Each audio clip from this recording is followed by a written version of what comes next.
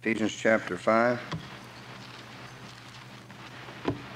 Now, when you go through these verses on the Holy Spirit of God, you need to ask yourself, you know, I mean, really, I mean, does the Holy Spirit really exist? Is the Holy Spirit in me? Uh, how do you know that? Well, you know that because the Bible tells you that. And what are you supposed to do? You're supposed to believe what the Bible tells you about yourself, about what's in you, and about what's going on. Here in Ephesians chapter 5, and uh, once again, we are covering this because it's important to know about Thanksgiving, verse 18 through 20. It says, And be not drunk with wine, wherein excess, but be filled with the Spirit, speaking to yourselves in psalms and hymns and spiritual songs, singing and making melody in your heart to the Lord, giving thanks, how much? Always. For what? For all things unto God and the Father, in the name of our Lord Jesus Christ. So the Holy Spirit is a spirit of thanksgiving. The Holy Spirit wants to fill us, and if it fills us, we won't have to worry about thanking God because we'll be thanking God. And if the Holy Spirit's in there filling us, we won't have to worry about any other kind of music or hymns or any kind of a spiritual thing going on because we'll know it'll be Holy Spirit. And uh, that is a big help to us if we remember that. That's the Holy Spirit we want, not these other spirits. And uh, also in Romans chapter 8, so it's, it's last week we talked about the Holy Spirit with worship and praise and how He uh, helps us there, helps us in everything. Anything holy, anything right, the Holy Spirit helps us in. But also, He shall quicken the believer's body. If you go to Romans chapter 8, what does that mean? Well, it means make it alive.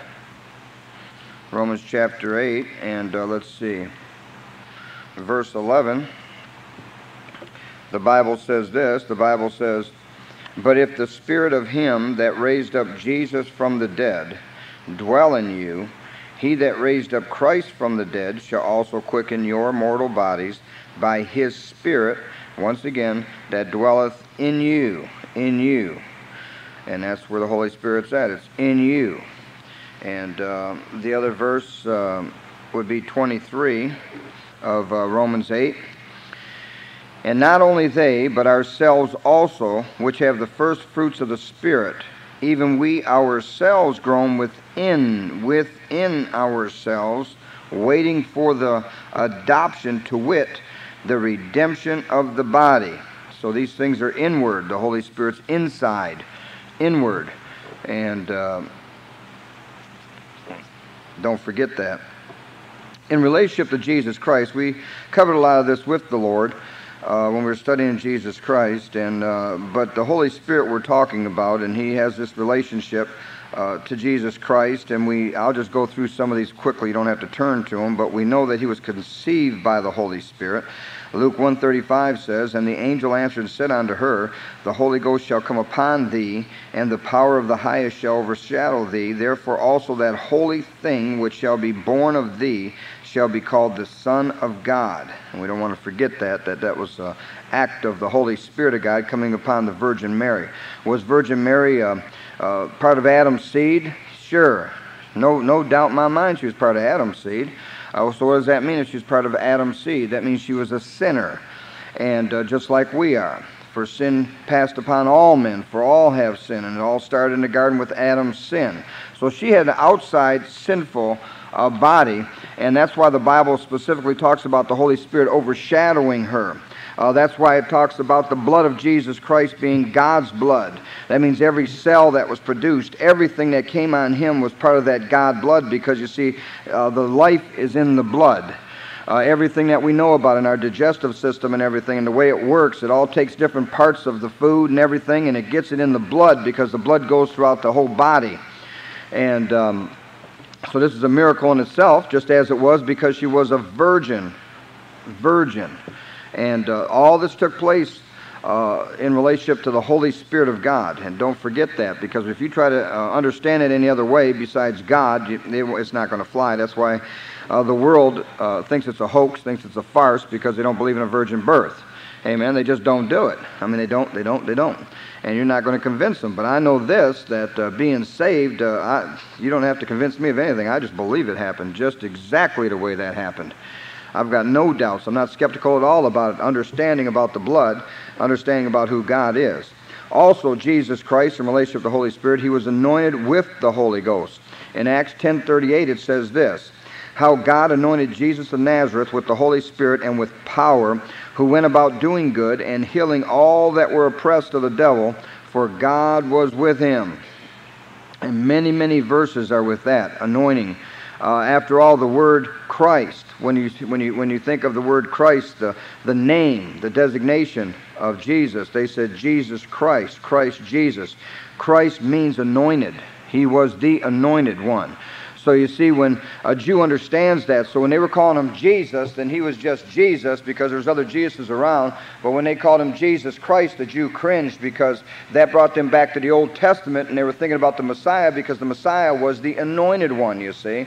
And uh, when you go on your own, you study that, and you go to Isaiah 61 when it talks about He hath anointed me to preach to the captives and so on and so forth.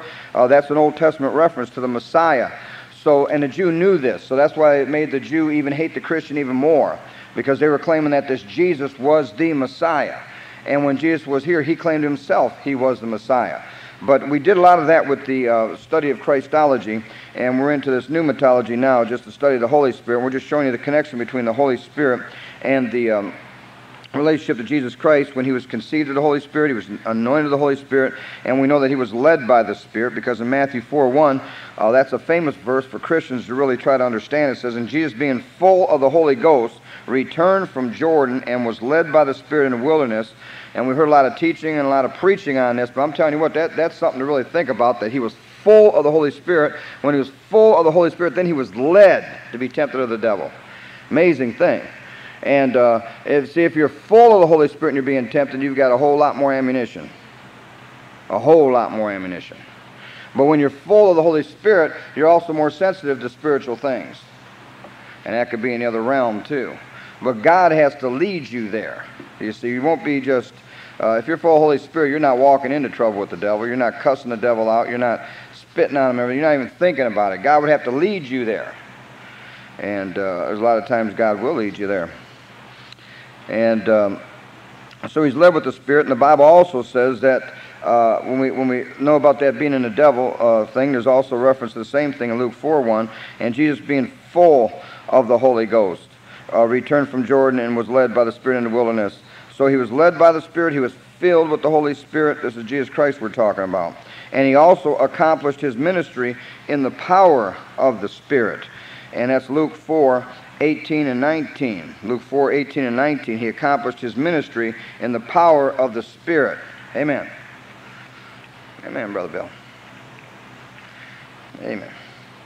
And see, the reason why I'm saying all this is because if you could just get in your mind for a minute uh, the manhood of Jesus Christ. We know he was God manifest in the flesh, but remember, he was 100% man.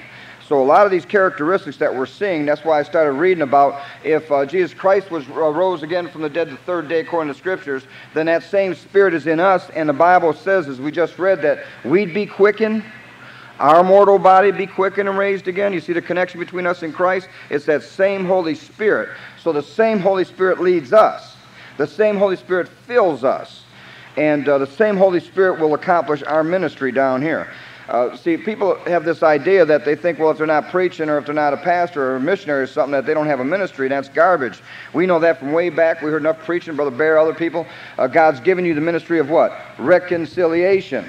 I mean, that, what's greater than reconciliation? Getting two people that are at odds against one another and bringing them together and, and peacefully. I mean, that's just a good uh, ministry anyway.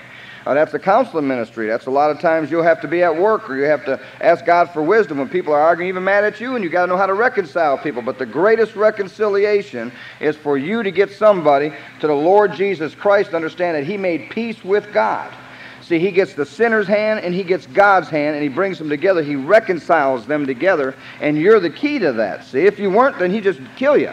He, he could have angels floating around down here. Just, you know, he could have apparitions showing up in people's bedrooms and saying, Be saved, be saved. But he, he didn't design it that way. He designed us as reconciliers. So we got to um, understand this. In Luke 4 18, 19 says this The Spirit of the Lord is upon me. And this, this, this is cited again in, in Isaiah 61. And this is why the Jews do not like the New Testament because it shows the fulfillment of the Old Testament in Jesus Christ. If they were to accept one verse in the New Testament, their whole thing would be ruined. They know that. They will not accept that New Testament, not even historically. We're talking about the Orthodox. You get some liberal Jews, you get some conservative Jews, and they'll get some of the writings of Josephus and other historians, and they'll say, well, this Jesus really existed, he was a good teacher. But other beyond that, no way, Jose. Because you see, here in Luke, it tells you about his ministry. It says, The Spirit of the Lord is upon me because he hath anointed me to preach the gospel to the poor. He hath sent me to heal the brokenhearted, to preach deliverance to the captives, and recovering of sight to the blind, to set at liberty them that are bruised, to preach the acceptable year of the Lord. Now, he accomplished all that. And what's interesting is when on your own, and I always say on your own, and, and, most people won't go on their own, but if you go to Isaiah and you read that, you'll know that there's a semicolon over there in Isaiah 61, and it does and it stops where Luke 4:18 and 19 uh, stops, but then it goes further in Isaiah because it talks about his government, it talks about his judgment, and Jesus Christ said he was here not to judge, but to what? To save.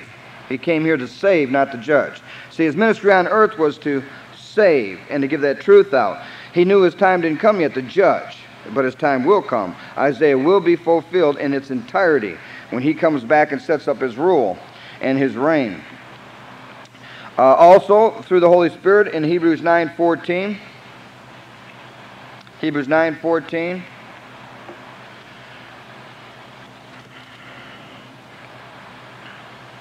Now, I guess the cold air can do two. Th- I guess one of two things. Amen. It can either keep you up or it can put you out, man. It'd be so comfortable. You just, just watch that stuff. Amen. But amen. Sunday, hallelujah. Sunday morning, sometimes you'll, well, you know what you did Saturday night or early Sunday morning. That's why you're tired. Uh, Hebrews 9:14 says this. We're talking about sacrificially offered himself through the Spirit how much more shall the blood of Christ, who through, now look at it, through the eternal Spirit offered himself without spot to God, purge your what? Conscience. Is that in there? You got the right chapter and verse? Let's say conscience. From what? From dead works to serve who? A living God. Now, what did that? The blood of Christ. He sacrificially offered himself through the Spirit. It's just the way it is. In the sacrifice of himself, as in all else, Jesus Christ was directed by and dependent upon the Holy Spirit. And we're talking about that Holy Spirit in relationship with Jesus Christ, and we're seeing all the similarities between us and Him down here. It's not about giving up, it's about growing up. Amen? That's good. Let me write that down. I could probably preach that one week, huh? It's not about giving up, it's about growing up. Amen.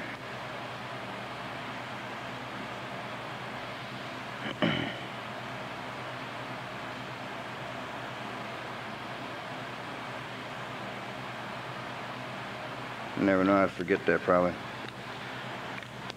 In Romans 8:11, we were already there, but it's the resurrected power of the Spirit with in relationship to Jesus. It says, "But if the Spirit of Him that raised up, and we just talked about this, raised up Jesus from the dead, dwell in you," and it says, "If, Amen, if." But if the Spirit of of him that raised up Jesus from the dead dwell in you, he that raised up Christ from the dead shall also quicken your mortal bodies by his Spirit that dwelleth in you. And Jesus Christ was raised from the dead by the coordinate power of the triune God. That is, the Holy Spirit, therefore, had a prominent part in his resurrection. Uh, that's why when uh, all of a sudden uh, uh, the rapture takes place, somebody says, Well, why are we the only ones going up? Well, we're the only ones going up because we got a spirit. Uh, we saw that uh, videos here a long time ago. If you remember, we probably have to do it again on Wednesdays. It'd be sort of good after the struggling Christian, but we did a lot of Moody uh, Bible Institute that was back in the 40s and 50s and 60s.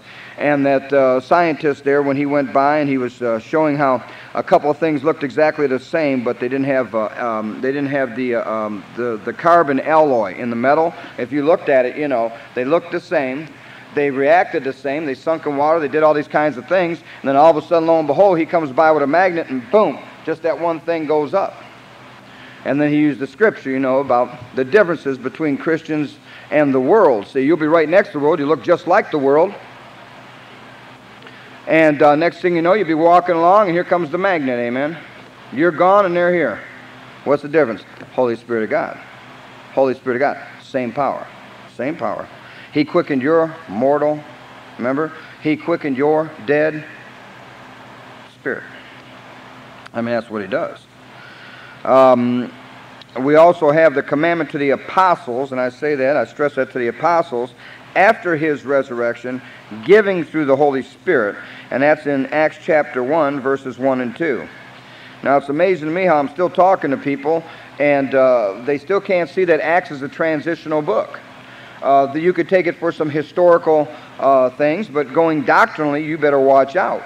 Uh, if you're saying doctrinally it belongs to the church, you have to watch out because it's a transitional book. What we mean about transitional, it's transportation. It is going from the Jew to the Gentile economy. It's moving from the law over to just the grace aspect of what Jesus has for us. Uh, you can know that by reading the book of Acts and seeing how complicated it would be to get the doctrine of the Holy Spirit in the book of Acts because you have six different ways. Uh, sometimes uh, uh, the, the apostle would speak and they would receive the Holy Spirit. Sometimes they lay hands to receive the Holy Spirit. Sometimes they got to be baptized and lay hands to receive the Holy Spirit. I mean, there's, a, there's six different ways to receive the Holy Spirit here. Now, if the Pentecostal brethren want to take the baptism or whatever, they're only taking one of those six, see? And they're trying to be slick by mix, mix matching it around, but and they don't like you when you start showing them those other five different ways. So what about this? Why can't we get it this way? Why can't we get it that way? It's a transitional book. But nonetheless, the Holy Spirit had to come. There was a commandment of Jesus Christ when he was here. He said it was expedient for him to leave me, and the resurrection was going to happen. And the reason for that is the Holy Spirit was going to be given down here, and it could do a whole lot more than he could do in that body when he was here. And by that Holy Spirit getting in us, it works through each and every Christian to do the will of the Father. But in Acts 1 1 and 2, it says this The former treaties have I made, O Theophilus, of all that Jesus began both to do and teach, until the day in which he was taken up. After that, he, through the Holy Ghost, had given commandments unto the apostles whom he had chosen. You know, to me, that's fantastic, just that wording. Did you hear what I said? He had given to the apostles whom he had chosen. Do you see that? So these guys that raise up say they're apostles today, they're not his apostles. They weren't chosen by him. Every time you read the book of Acts, every time you read the Gospel, it's talking about those 12, those 12, those 12. And then it talks about them multiplying, and it talks about them confirming the Word of God, and that's why the signs and, and gifts were given to them, was to confirm the Word of God, because the Word of God was not established yet. So the Holy Spirit came down. Jesus Christ seemed to have continued uh, under the direction of the Spirit in the work given to him by the Father until he had again taken his place at the right hand of God in complete exaltation. Amen. Now also Acts 2:33. In Acts 1 and 1 and 2 we saw that the commandment to the apostles after his resurrection given through the Holy Spirit. Now we're going to see the bestower of the Holy Spirit, the bestower of the Holy Spirit, and that's in Acts 2:33. It says, Therefore, being by the right hand of God exalted, and having received of the Father the promise of the Holy Ghost, he has shed forth this which ye now see and hear. Who did that? Holy Ghost. The Holy Spirit came on the day of Pentecost as a result of Christ's ascension and, and session at the right hand of God as our high priest. If you remember, he went and made those commandments. He stayed around for 40 days doing infallible proofs of his resurrection. Uh, we studied that about Christology. We, we proved that he was here. It was a historical fact that he was here. He did all those miracles. Remember the 500 plus people that were, that were uh, uh, there? I mean, goodness gracious. You'd think that uh, all the writings, even of the Jews, they would have recorded that time when, when the tent was uh, uh, ripped in twain there and the rocks uh, cracked and, and burst open all over the place, and the graves, remember that? Burst open, and the dead came up and walked around. I mean, you know, we just think about that, but I mean, if you really think about that, that's hilarious. I mean, that was, that was not only scary, but that had to be the comedy, comedy show of Jerusalem. I mean, just watching that thing, I could just, I wish, sometimes you just wish people would make movies, something like that, because I could just, you know, I mean, really, come on, knock it on the door, and your great great granddaddy or something knocks on there and tells about Jesus Christ, his resurrection and life. Now, these people had to go and die again. In that sense. You know what I mean? They had to go die again. We're not going to die again, but it's just the fact that Jesus Christ was showing, not only in type, they didn't have television, but I mean graphically, in illustration, he gave an illustration of people coming up out of the grave. I mean, my goodness, people had, I bet they're bouncing into each other. They're going out of their mind. Especially the, the grave keepers. If they were out there keeping the grave, can you imagine them tombs, uh, the things opening up? That happened, people. That's what Matthew says happened. And when Jesus resurrected, this stuff all took place. I mean, I don't know about you, but that's pretty heavy duty. And it's recorded. I mean, it really happened. I mean, I told you folks about that coin that's out. That uh, uh, I don't know when that was. Was it Sunday night or I can't remember. But but that's true. I mean, this stuff is happening. I mean, right now, you know, and uh, and uh, uh, we, you know, and, and then you, you had you, you're listening between the different political views now, and you're listening what a uh, uh, what do you call it, a, a conservative is, what he ain't. I mean, you as a Christian already know what the you're a Bible believer. I mean, you're a Bible believer. You already know what's right and wrong.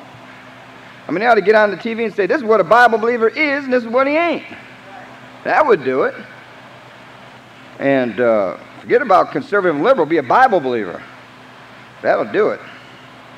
But I think about that, if I'm a Bible believer, and I think about that stuff that took place, my goodness. And I think about all the preaching I heard through my life and all the different, with Dr. Hag come with all the different things like that, uh, uh, prophetical things, and and then you think about the world events of what's going on, and you think about, uh, I remember Hag doing that uh, deal on the uh, tornadoes and the hurricanes, and you know how the devil does that. And according to the Bible, the devil moves that stuff around. See, we're thinking God moves that stuff around. That's the devil. This is world. He wants to destroy things. It's God that says, nope, to the left. Nope, up there. See, he controls, he's the outside control of everything, but he allows that, that, that devil domain. And we forget about that stuff. We're thinking, oh, yeah, yeah, yeah, yeah. if you remember, somebody had to ask God permission to get Job. And we often forget, I don't, I don't know who I was talking to, it's either Susanna or Susanna, I think, about uh, how parents need to pray for their children. Put a hedge around them. You know, is that still dispensationally now? Sure it is. Job was before all that stuff. When it talks about, remember the devil came to uh, uh, the God and he says, uh, yeah, but you got a hedge around him. Remember, Job says he, he, gave, he gave his little, he made that altar and he, and he sacrificed for his own children. And you ought to read that and find out about that and find out why he did that in case they forgot. He knew how powerful God was and how his judgment was. So, in case they forget to do little things, Lord, would you please hear this, this person's prayer as a parent? And God kept a hedge around him. How do you know? Because he had to have permission to get his kids. Remember that? But see, as, as one that, and remember, he's also the one that says, uh, what uh, worms may destroy this body or this flesh or something, but in this body I'll see God or something. I think Job said that too. He had the power of the resurrection in him. Strange thing, that book of Job. And here you got Christians, and they can't figure this out. God's not letting nothing happen to us, right? That doesn't go through his hands. He allows certain things to happen. Um, I don't like them. You don't like them. But bless God, recognize who's doing it, and at least you'll be able to give them thanks and not be, be full of bitter. Um, I think about this because the Holy Spirit has to do something in us to allow us to believe those things. Ain't that amazing? Because your flesh wants to retaliate, right? The mind wants to retaliate. Unless the Holy Spirit gives us power, we're, we're, we're, we're, just, we're just messed up. So you got the bestower of the Holy, Holy Ghost, amen? And we, we see that. And we know that it happened in Pentecost because of the very act of what took place when the Holy Spirit came here. Now we see the Holy Spirit also in relationship to Scriptures. Go over to 2 Peter 1 20 and 21.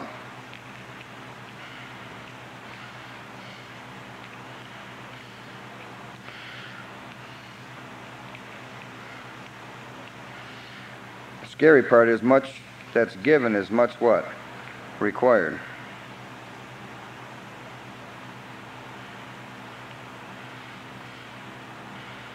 Need to keep Brother George Stewart in prayer too. Amen. I haven't got to see him yet, but he's real close to us here, I found out, so maybe I can get in and see him. He said, What are you going to do? Say you told, him, told you so? No way. That's stupid. He already knows what the deal is. Man, if anybody knows the ball game, much is given, much is required. I mean, there's, there's no preaching to George. He knows it all. And I don't mean that being smarty aleck. I mean, he preached it. He studied it. He knows the ball game. But what took place? The mind took over. I mean, can't you sense yourself when you're going away from the Lord? Come on. And it's like all of a sudden, it's like a battle going uphill, almost a lot of times trying to stay with the Lord. It really is. It's like you it seems like you're going to lose. You're just doing this, you're just doing this, you know. You're just like you're, you're ever climbing. You know, then that spirit and your, your body's hating it, and your spirit's saying, Go on, go on, you can make it, you make it. Well, you see, you're climbing, and eventually you're going to get raptured and go on up. Then that struggle won't be there anymore. That's a blessing. Or you die, and the struggles, you don't have to worry about that anymore. But you're going up like this. But a lot of times somebody will find a plateau. See? Are you, are you following me? You'll find a plateau, so it's a way of getting off real quick. So when you get off, and you're hanging there, that's when you're being drawn, see, because somehow you got away from the fight and the struggle and you got, see, it's easier. You see what I mean? Here's a struggle, and uh, all of a sudden you get on the plateau. Well, now it's easy. You feel, wow, this is cool. And what'd you do? You let your guard down. There's no more fight in you. And it's not the Lord's rest, it's your rest. So when you rest like that, it's not but a few steps, you're off the other side. And as you go off the other side, so you're being drawn away by your own lust, it's like a, it's like a snowball. Amen?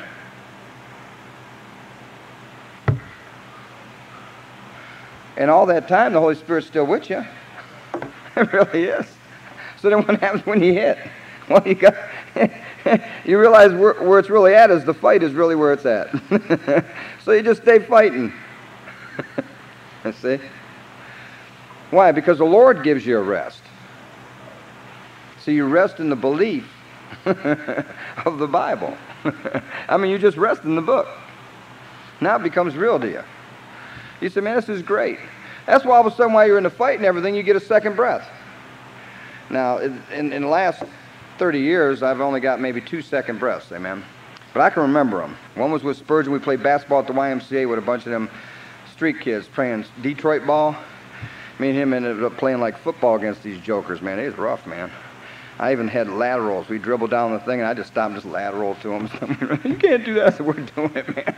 But I remember getting by that basket underneath the basket, going. I mean, I was burning so bad. I said, "I'm dying. I'm just dying." Here I am. You know, back then I was probably 60 pounds overweight. I mean, I said, "I'm dying. What a thing to do." I said, "Well, you know, let's think of the good part. I'm, we're playing with these street kids and trying to be fun, and preacher dies playing basketball with these kids." I said, well, "That probably turned out all right."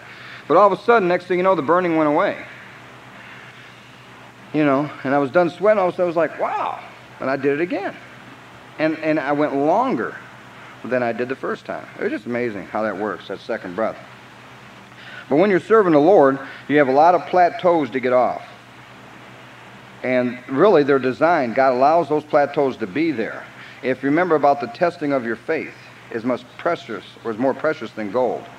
The testing, so you got to get a hold about the testing, is more precious then you won't think it's uh, always chastisement or, oh my goodness, this is more than I can stand, or you almost sound like Cain wandering around the earth, you know. My punishment is more than I, than I can stand. And it's an attitude that you get, and uh, that's crazy. But I said all that because it's got to do with the Holy Spirit and you learning, learning, learning about the Holy Spirit of God and what He's trying to do for you. He's trying to rip down your flesh, put it where it belongs, in a stinking grave, because it ain't no stinking good. And you need to depend on His Holy Spirit. And when you do that, you'll get the power you need. And as you're going up, you'll get your second, third, fourth different breaths as you're fighting, as you're climbing up this thing, as you struggle. And uh, you're going to find out there's a power and there's a rest to God's people, and it's in the Scriptures.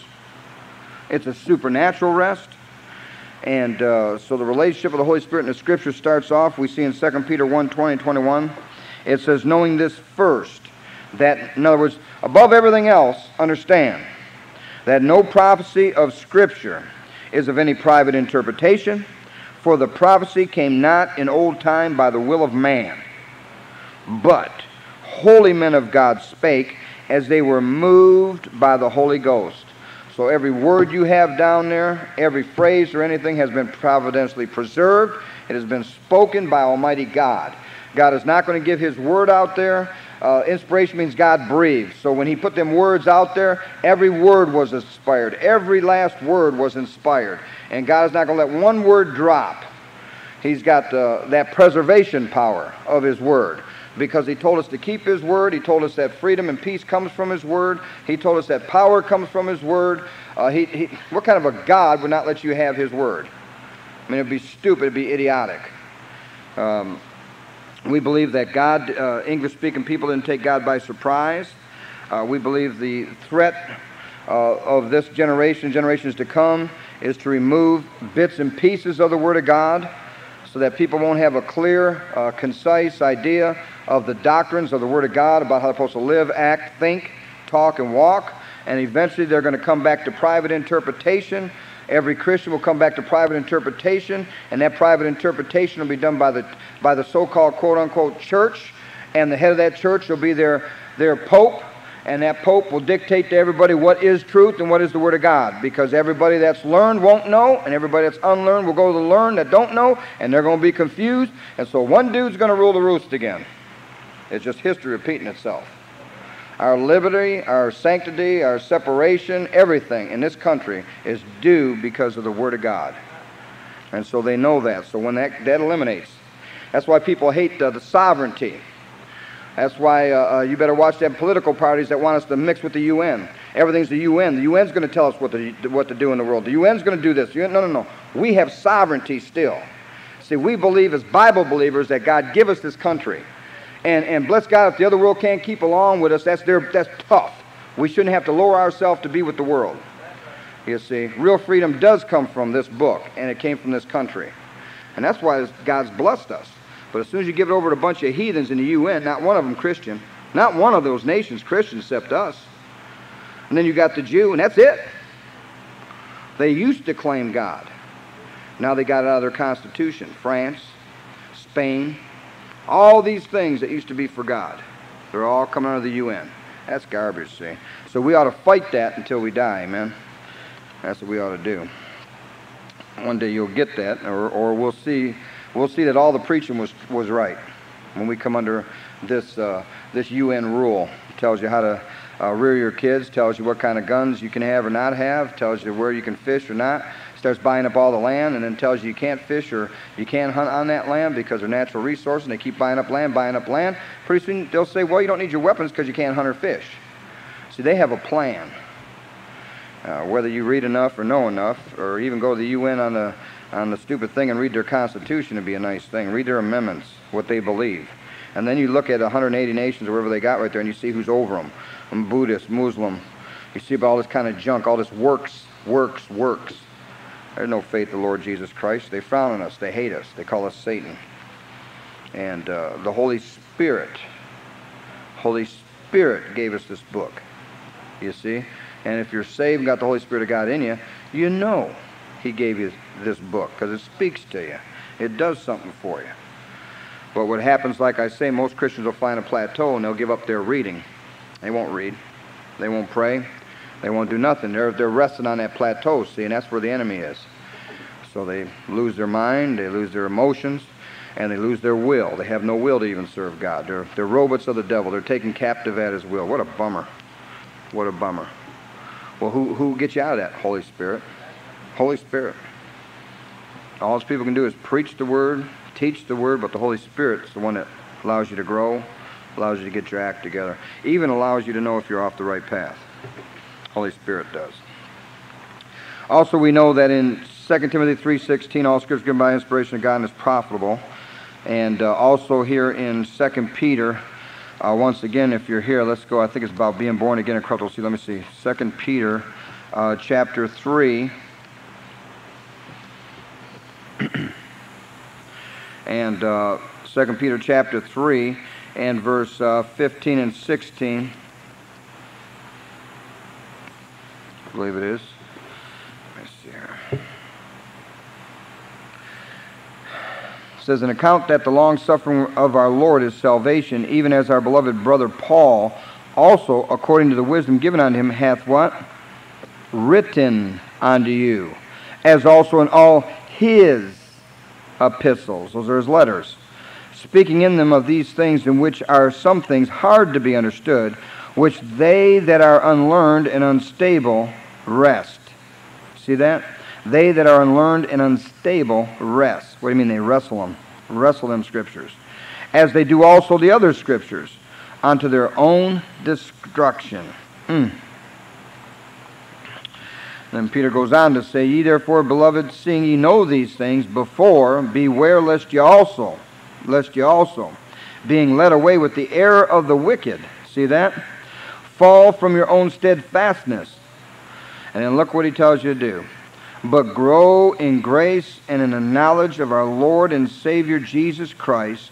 To him be glory both now and forever. Amen. Isn't that good? Sure, that's good. That's a good promise. But verse 17 is also a warning, and it talks about fall from your own steadfastness. And that's not too good a deal. Let me see what John 16, 13 says. John 16, 13. I got that in my notes.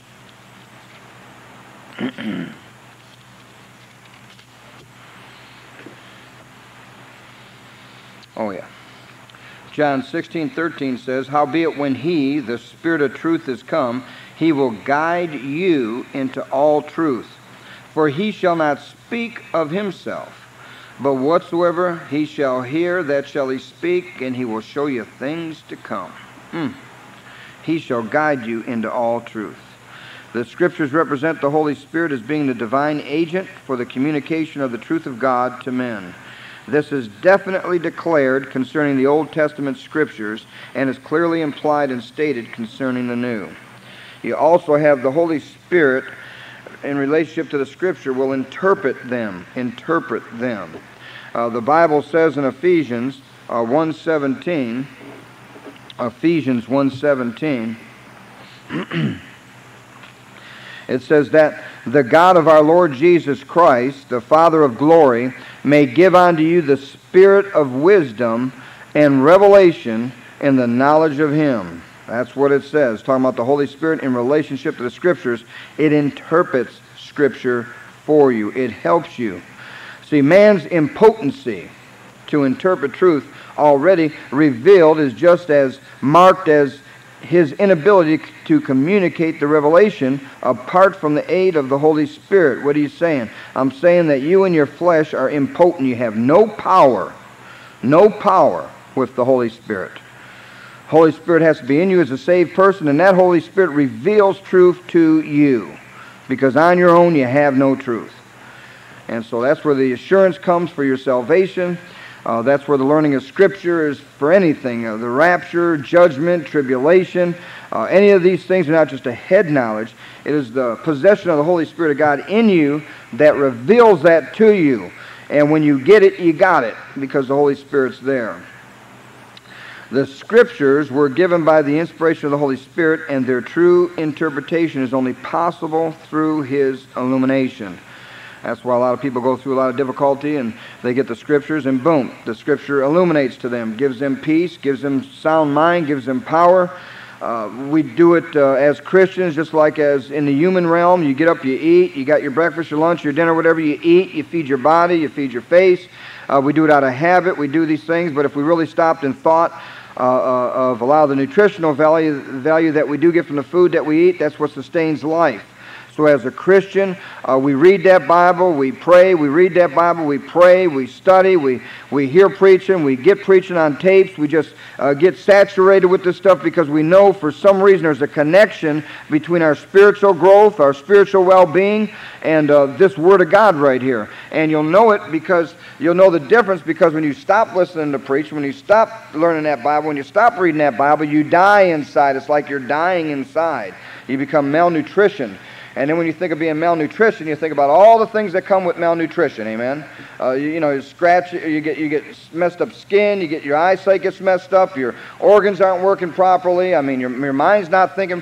And when you're malnutrition, uh, you're actually killing yourself because you're not feeding yourself properly. Now, a Christian once saved is always saved, but if you don't put the proper nutrition in your soul, if you stop doing what you used to do, you're going to start losing that love for the Lord. You'll start getting more and more and further and further apart, and then pretty soon that devil will be able to convince you of anything. And uh, That's why you have to watch. I told you before about certain drugs that you take. Understand what the relationship of those drugs and uh, what it does to you, what it does to your mind, and uh, watch out about that stuff. And uh, I'm sure I'm sure you know this this kind of thing already. Um, let me see another. I'm going to go to another scripture here. That interpretation of scripture, uh, 1 Corinthians chapter two. Let me see what this says here in 1 Corinthians chapter two.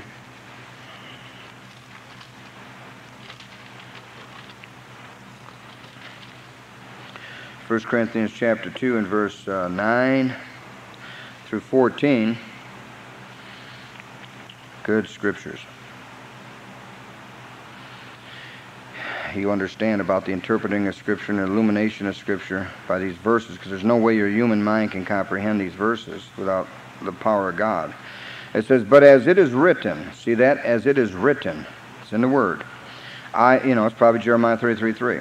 I have not seen nor ear heard, neither have entered into the heart of man the things which God hath prepared for them that love him. But God, see that? But God, you're not going to get this without him. But God hath revealed them unto us by his Spirit. For the Spirit searcheth all things, yea, the deep things of God. For what man knoweth the things of a man save the Spirit of man which is in him? Even so, the things of God knoweth no man, but the Spirit of God. Now we have received not the Spirit of the world, but the Spirit which is of God, that we might know the things that are freely given to us. You notice how many times the Spirit of God is mentioned. Look at verse 13. Which things also we speak, not in the words which man's wisdom teacheth, but which the Holy Ghost teacheth, comparing spiritual things with spiritual. Now, here's the difference, and this proves it without a doubt that if you're not receiving spiritual things, if you're not getting any inferences or anything from God, if you don't know anything about God, there may be a good indication you are lost. But the natural man receiveth not the things of the Spirit of God, for they are foolishness unto him. Neither can he know them, because they are spiritually discerned. That's why a lot of these people walk around and they got a lot of head knowledge. They got off of somebody, borrowed it from somebody, read something somewhere, memorized a lot of things in their brain, but God's not giving nothing in their soul. They're not getting any information. Nothing's clicking in there, man. There's good indication there's nobody home. Amen? A lot of times people will, will hear the word of God and they'll, they'll, they'll think they got it, but remember the Bible talks about the devil coming and plucking the word out of them before it gets settled. A lot of people be in church and they'll say, oh man, that's it, that's it. And then they'll leave church and that's it. They never really received it, never really got it in there because they allowed the devil to come in and just take it out. You ever read that in the scripture? The devil's good at that, taking the word of God out of you. Tell you what, it's dangerous. Amen. Lord, Lord, we've cast out devils in your name.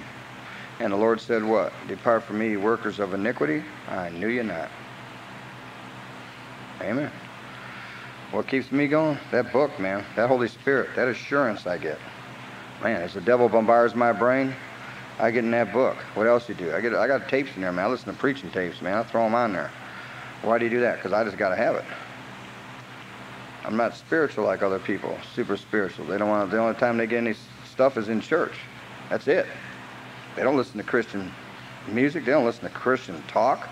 I mean, they don't listen to preaching. They don't do nothing, man. They just come to church, get a little bit here, an hour here, half hour there, 45 minutes there. I wonder why they don't have any rewards, even down here. Well, you're not understanding the way the Spirit works. The Spirit's trying to help you. He's trying to talk to you. He really wants to take over, but you got to give it. You got to give in, give over to him. Then he'll start opening up doors for you to minister. He'll start giving you some peace. He'll give you some ideas on how to get people saved. I mean, the Holy Spirit's a wonderful, wonderful thing. And we thank God that uh, we're sealed with that Spirit. All right, that's it. That's it for a while. 5 2 and get back to about. Sometimes if a preacher got up and preached out of something else, you wouldn't know it. Well, that sounds like Scripture. or I could just make up Mary had a little lamb, put these and thous in there, and you say, Amen, brother, preach from the King James Bible. And if you're not faithful over the Word of God that God gave you, over the knowledge God gave you, how is God going to give you other talents? You know, it's like the servant coming saying, you know, when I was here, I taught you this, this, and this. And I'm so excited because when I came back, you knew twice as much. You were faithful with the knowledge. Holy Spirit's not going to reveal any more to you or show you any more in the Scripture if you're not going to be faithful with what God has already given you. He's not going to show you. He's not going to demonstrate to you because you're not faithful to it. I had a deacon tell me his philosophy on marriage. Very biblical. And he said this. I guess I can get, it's good that I'm preaching. I get some of these off my chest so I don't get too much trouble when I get back. But this is what he said. We're in a meeting. It's just a closed little meeting. Me and seven deacons. Praise God. Um, and, and we're just talking. And he says, this is my philosophy on marriage. If it, there's two types of marriages. One made in heaven and one made on earth. And he says, if it makes it, it was made in heaven. If it doesn't make it, it was made on earth. So, well, glory. I said, so if I trade mine in,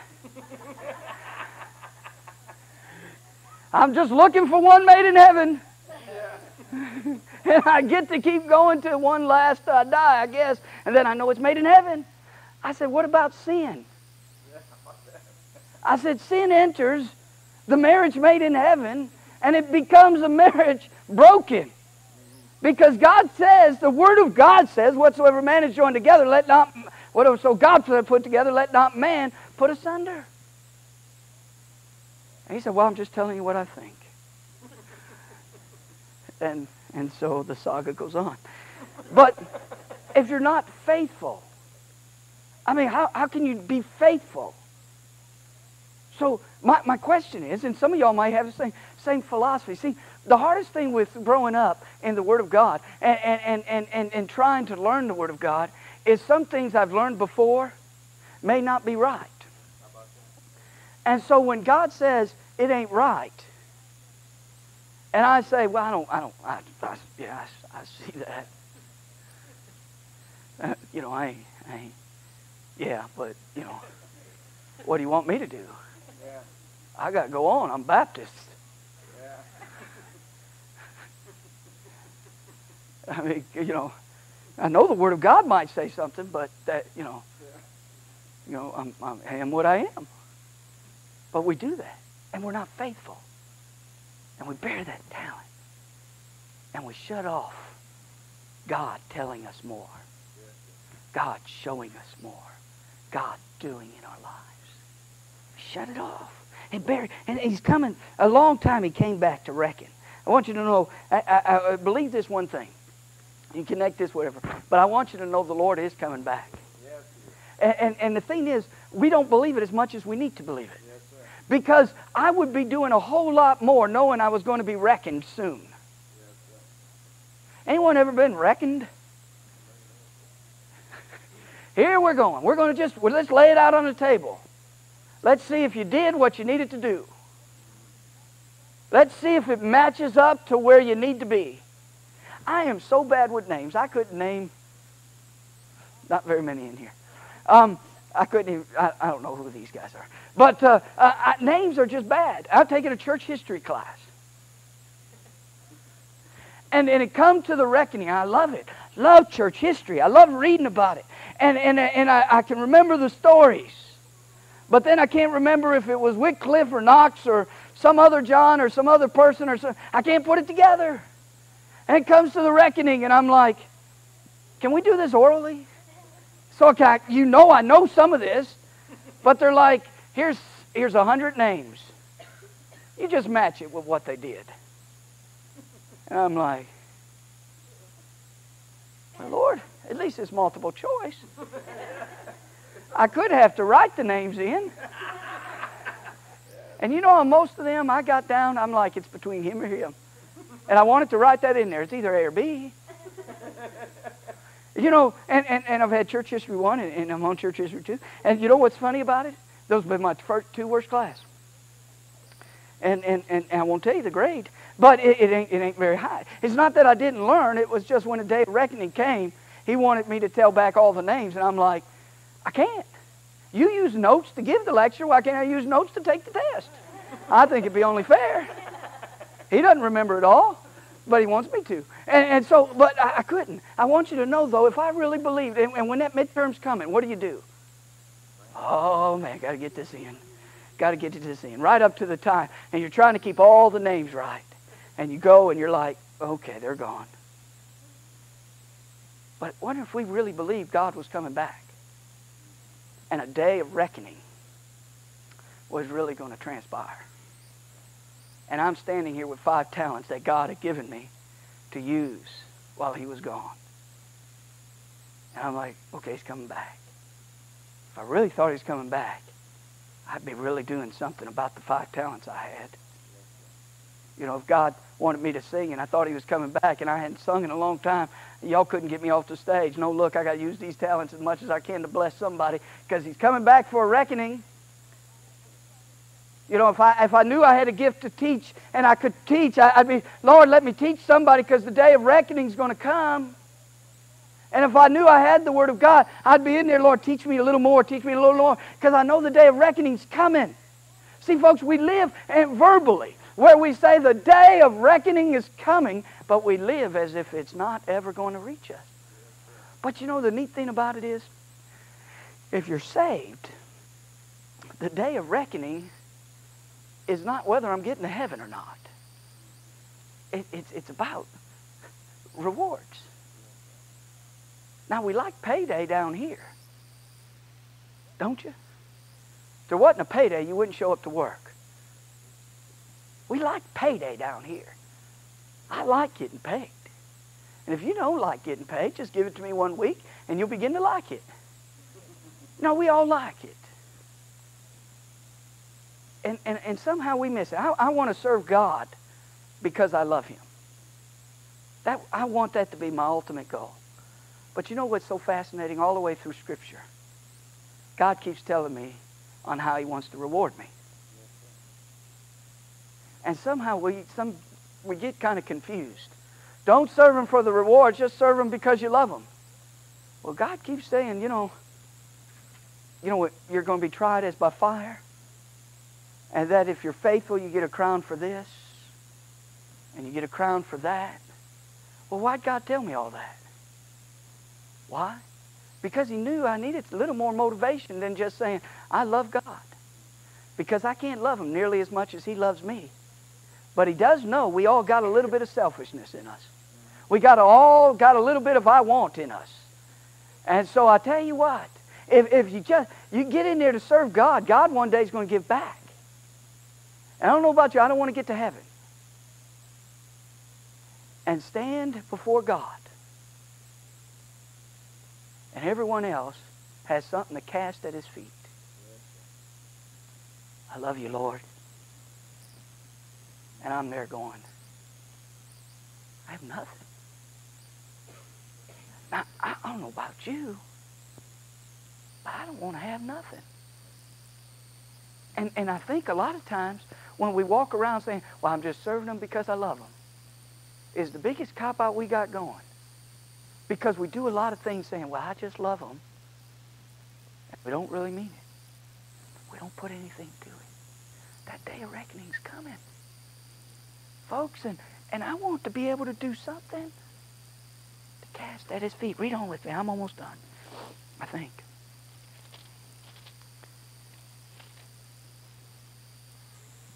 Verse 20. He got five. And look at verse 21. His Lord said unto him, Well done, thou good and faithful servant. Thou hast been faithful over a few things. I will make thee ruler over many things. Enter thou into the joy of the Lord. I often wondered about that. I chased that down several times. And, uh, but, you know, what are we entering into the joy of the Lord. You're faithful. Now let's enter into the joy of the Lord. I don't know about you. Sometimes down here it gets real joyful too. The joyfulness is just knowing I, being used by God. Being able to influence someone's life.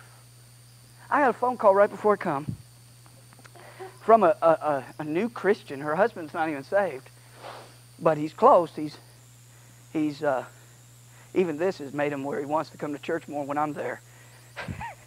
you know, you, you often wonder when a fight starts, lost people are lining up on your side too. It's kind of kind of strange when Christians can't see the word. But even lost people are seeking. God says, well, that's what it says. Let's just do. But, you know, get saved first, okay? I mean, you got to work on it. But you know what? She called and having difficulty. And, it, and, and, and you know what's neat? Is, is, is who am I? Who am I? I you know, I, I'm 500 some miles away. But the neatest thing in the world is to know that somehow I'm trying to be faithful with the little talents I have.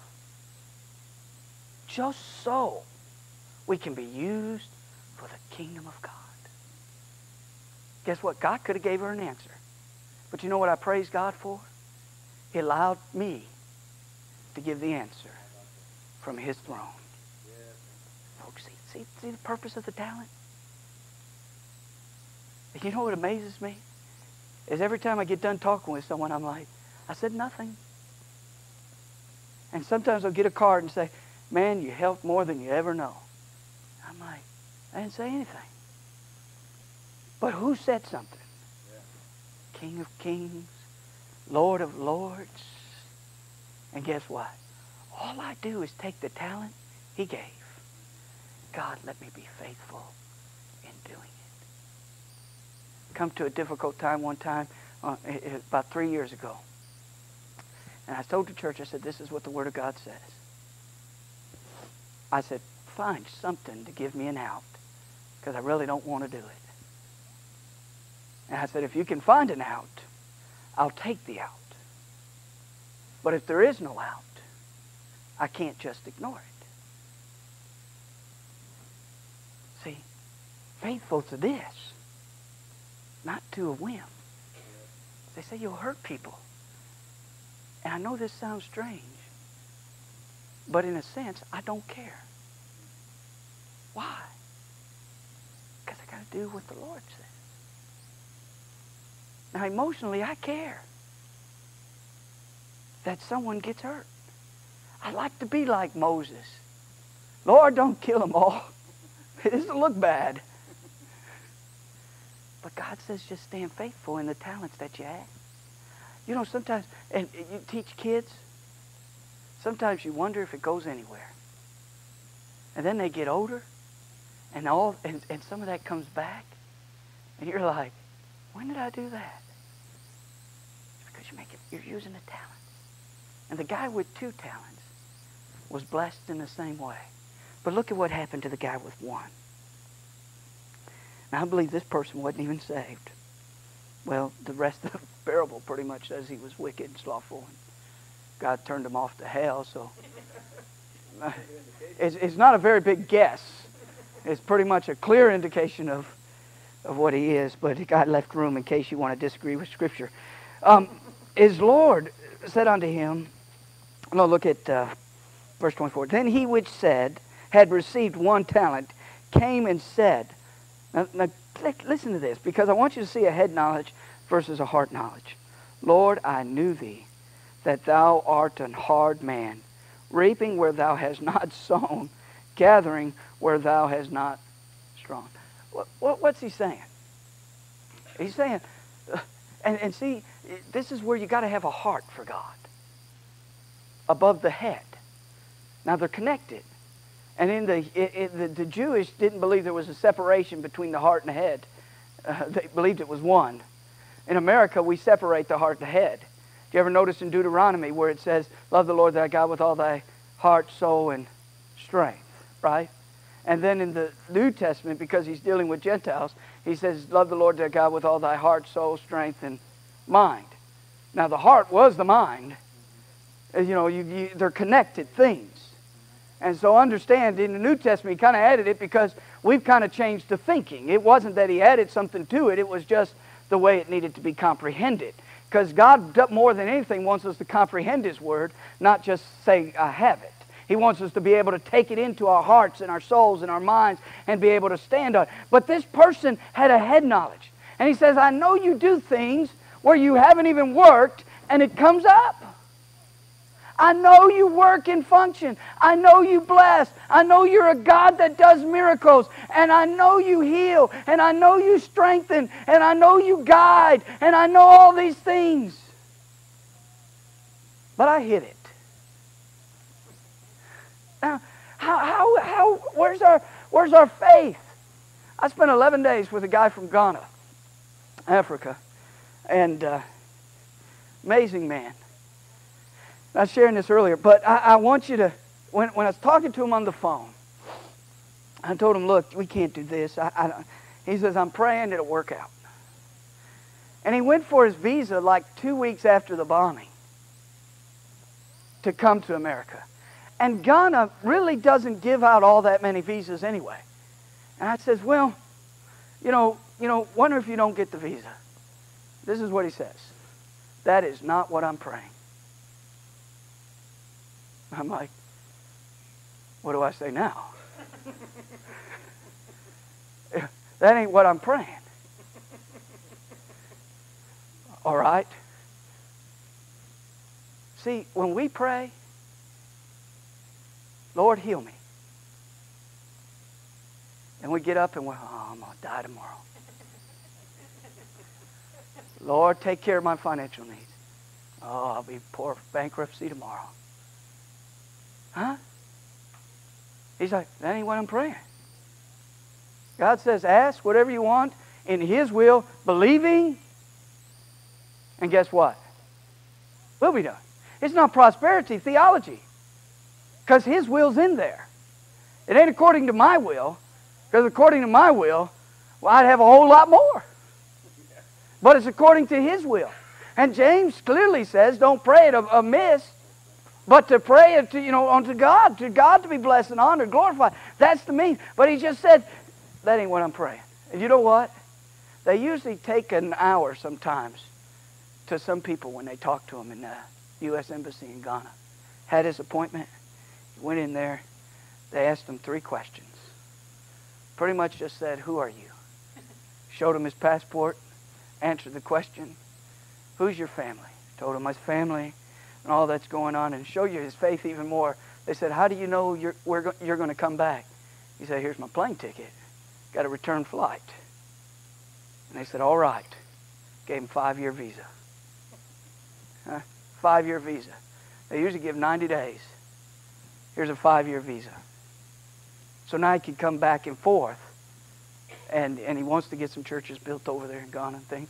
But the thing is, folks, I want you to know this guy with one talent said, God, you do things miraculous. But I hid my talent. And sometimes, God, you, you work miracles, but I can't do it. Look what, look what happens. I, we, we won't get into the lost part. But his Lord answered and said, verse 26, Thou wicked and slothful servant, and he repeats back his words. Thou knewest that I reap where I sow not, and gather where I have not strawn. Thou oughtest therefore to have put my money to the exchangers, and then at my coming I should have received my own with usury. See, my question is, are we really dividend seekers for God? Do we really believe God can save. We pray for someone to get saved, but then we don't really believe that salvation is going to transpire. We believe that God can lift up and heal, but we never really seek a healing. Now, everyone's not going to get healed. The professor, I love what he said. He has cancer now. And so I, I thought, think of it often. Before he had cancer, he often would say, he says, if, if I'm ever deathly sick, and he is now, he says, if you're not going to pray believing, don't even come and pray. Because us Baptists are real notorious for going, well, we're going to pray God to heal you. And then right at the end of the prayer, I know we got to pray for God's will, but we don't pray God's will for it to be God's will. We pray God's will because we're doubting God will. Aren't we? Because we want to cover ourselves.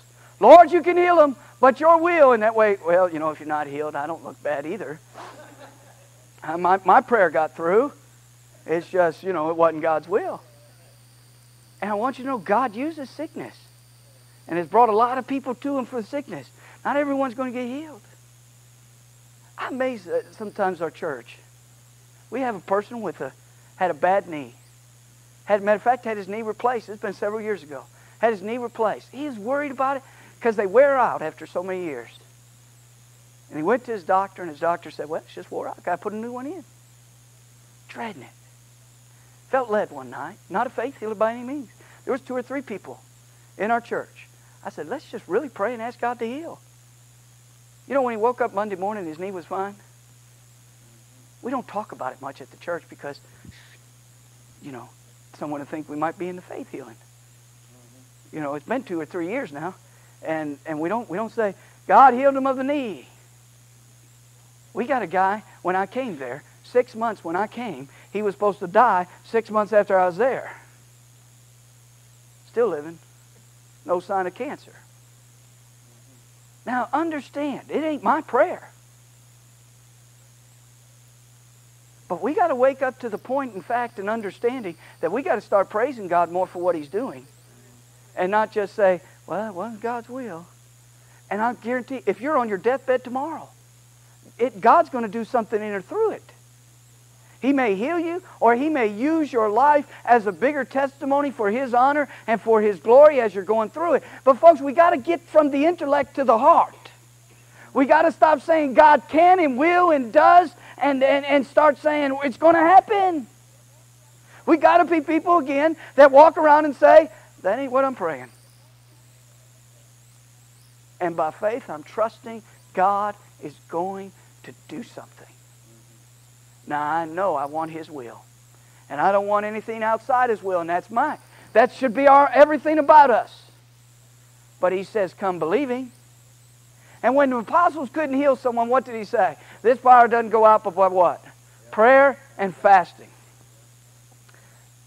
See, we don't, we, we don't definitely don't want to fast anymore. I called our church to fast. Kind of worked out in a nice situation we actually fasted for 24 hours. I said, sundown to sundown, whole church fast. We'll have a, uh, and then we had a communion service, Lord's Supper, on a, I don't know what y'all call it. But anyway, on a Saturday night. Just cover it all. On, on, on a Saturday night. And uh, 12 of us had a good time.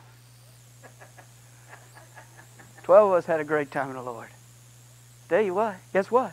If, if it wasn't the Lord's Supper going on, but some potluck, and we weren't fasting, but celebrating, we could have packed the place. Well, I don't know about you. I actually wanted to move a little from my intellect to my heart. And if I really believe God can do, I better start acting like He will do. I'll give you Leslie, that guy that came there, Mustafa. He left his home two days before the visa because he had to drive, packed to come to America, ticket in hand, knowing that after he did that, two days later, he'd be in a crawl on a plane flying over here. You know, when I read of Moody, Billy Sunday, all of the giants of a revival era, guess what? They believed. D.L. Moody. The story is, where if you go there now, where, it, where it's located, he actually walked off those blocks and prayed that God would put a school there. And guess what? There's a school there. But you know where my mind always goes? Why didn't you go a couple more blocks? Why limit? Huh? But at least he went a couple blocks. So we say we have talents. And we're looking to serve the King of Kings and Lord of Lords. Let me ask you, have you buried it? Or are you willing to use it for the kingdom of God? Let's stand.